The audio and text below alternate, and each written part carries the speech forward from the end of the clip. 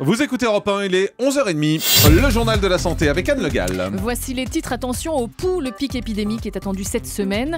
Un enfant de 5 ans qui meurt piqué par une méduse. Et puis, on mémorise moins bien une histoire lue sur tablette que dans un livre papier.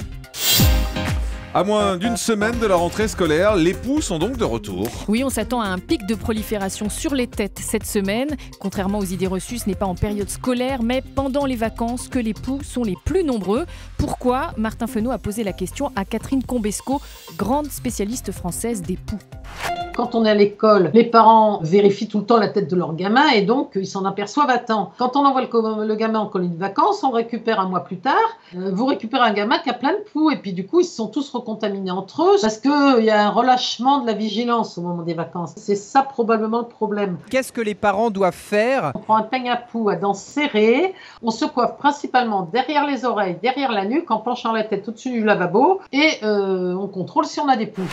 Et si jamais votre enfant a des poux, justement, pas de panique. Il faut juste choisir les bons traitements. Selon cette chercheuse, sur 21 produits vendus dans le commerce, seuls 5 sont efficaces. On ne va pas citer de marque, mais ce sont ceux qui traitent en même temps les poux et les lentes en une seule application. Voilà, sur ce sujet, on reviendra également euh, dans quelques jours dans ce grand direct de la santé. On vous donnera euh, des conseils pratiques. Euh, cette information dramatique, ce petit garçon de 5 ans qui est mort après une piqûre de méduse.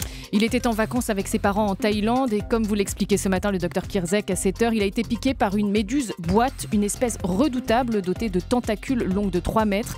L'organisme de l'enfant n'a pas supporté la quantité de venin délivré. Précisons que ce type de méduse ne se retrouve pas sur les bords de mer en France.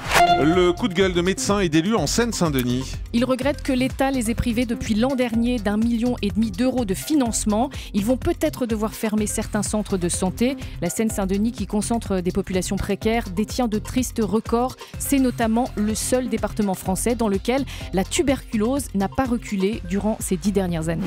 On parle de la cigarette électronique puisque l'OMS a exprimé hier, on vous en parlait hein, dans cette émission, son souhait d'interdire le vapotage aux mineurs ainsi que dans les lieux publics. Oui, et cette prise de position suscite toutes sortes de mises au point depuis 24 heures. Dernière en date, celle du pharmacologue Jacques Le en direct ce matin sur Europe 1.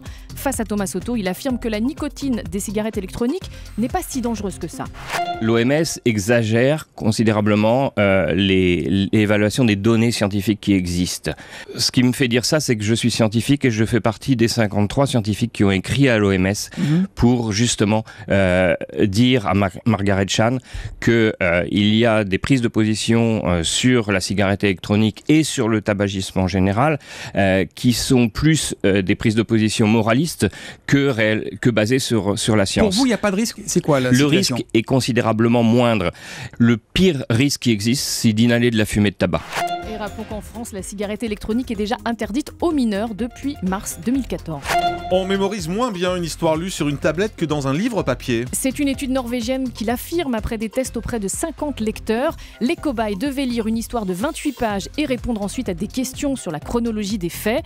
Résultat, les lecteurs sur tablette ont plus de mal à remettre les événements dans l'ordre. Explication, il se pourrait qu'avec un livre papier entre les mains, étant donné qu'on sent physiquement le poids des pages qui restent à lire, eh bien on mémorise mieux du récit dans le temps. Et puis ce débat euh, étonnant, on peut le dire, dans la presse aujourd'hui, et cette question qui est posée, y a-t-il une obsession française du décalotage Autrement dit, y a-t-il une obsession du corps médical français à recommander aux mamans de manipuler le zizi de leur petit garçon afin d'éviter les adhérences et les inflammations du prépuce? C'est la question que pose sur une pleine page le journal Libération aujourd'hui, et le médecin écrivain Martin Vinclair est formel. Non, bas les pattes, laissez faire la nature, dit-il, les petits garçons se chargent très bien tout seuls de cette manipulation. Le décalotage, c'est une pratique culturelle en France, nous assure Martin Vinclair. Ça n'existe pas dans les autres pays. Le chiffre du jour, c'est 2015. 2015, c'est la date jusqu'à laquelle British Airways suspend ses vols à destination du Liberia et de la Sierra Leone. La compagnie aérienne invoque des raisons de sécurité face à Ebola. On notera qu'Air France, de son côté, maintient avec un certain courage ses vols vers l'Afrique de l'Ouest. Merci Anne.